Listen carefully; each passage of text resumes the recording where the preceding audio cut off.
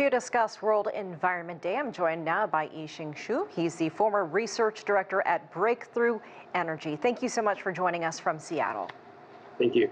Well, we just heard uh, about China's efforts, and we know that a lot of big cities there are already sorting garbage. But I want to get your reaction to what's being done so far and the progress being made, and when we can really see, start to see a difference.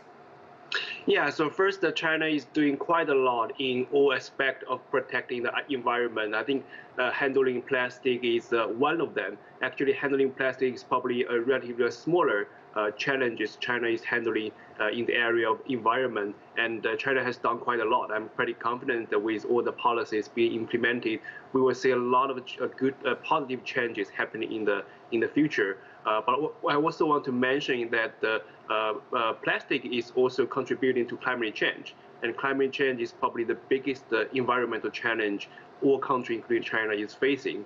And to address the global climate change, China is actively developing uh, clean energy. So in 2022, so China's total electricity generation through clean energy reached 2.5 trillion kilowatt hours. As a result, China has established the world's largest clean energy power generation system uh, with installed capacity of wind, solar, hydro, and bio power ranking first uh, globally.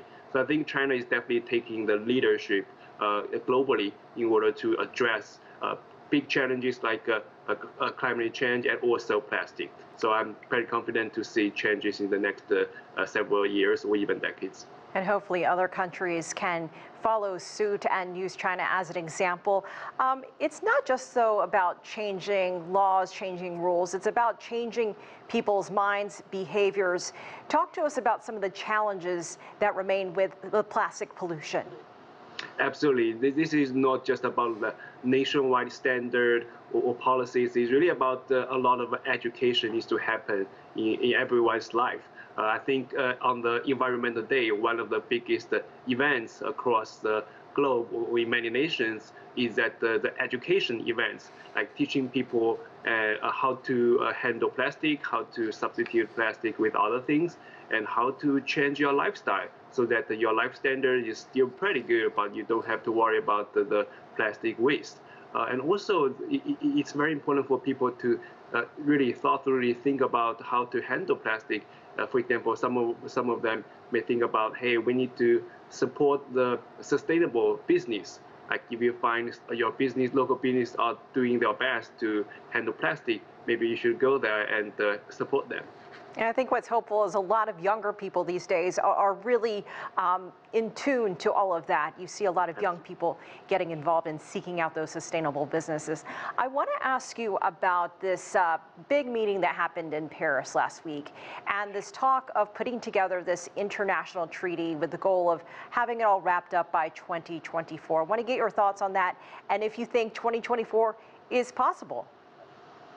Yeah, I think uh, the the, the climate, everything related to climate is a the big issue. I think uh, it takes uh, all the country in the world uh, to to really to to discuss, to collaborate, to find a way to to to to uh, to fight climate change uh, effectively. So every country needs, for example, related to the country to country, for example, the carbon market.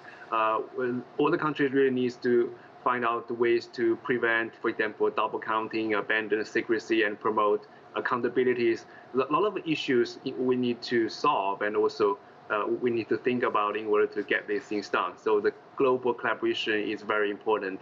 And although there are challenges ahead, but I think we're heading to the uh, right directions, and all all the countries now are aware of the climate change challenges and are thinking about all the issues related to plastic and other topics and we're, we're trying to find ways to, uh, to solve these big challenges.